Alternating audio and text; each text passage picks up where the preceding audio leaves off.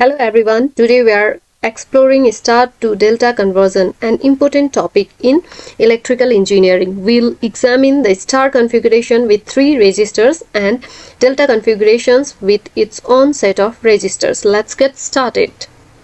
Understanding the star configuration, let's look at the star look at the star connection referred as a figure A.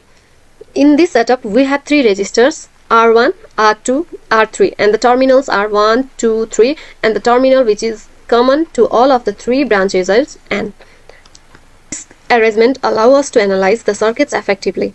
Now, understanding the delta con configurations, we move to the delta configuration as shown in the figure B.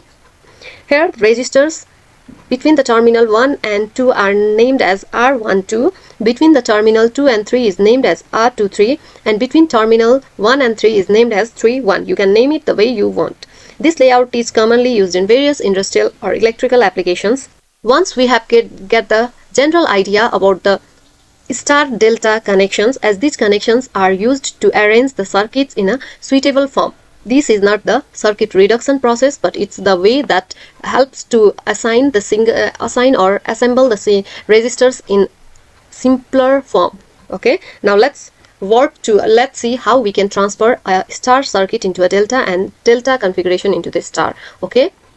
Normally a star circuit can be converted into a delta and delta circuit can be converted into a star. So to convert this star into the delta, all you need to do is you need to draw the circuit on these arms. If we will use dead lines to draw these.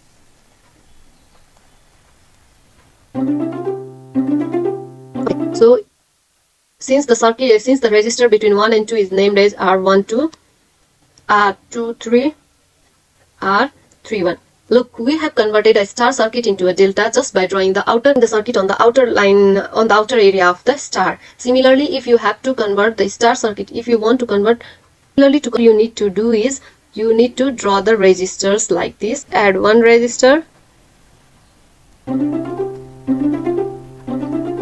Okay, that's how we can convert a delta connection into a star connection and name it as R1 R2, R3. Now our remaining task is to identify the value of R1, R2, R3 in delta to star connection and the value of R12, R23, R31 in star to delta connection. So in order to find these values, you are already provided with certain formulas. Today we are just focusing on converting on deriving the formulas so once you will derive, you will be able to derive the formula.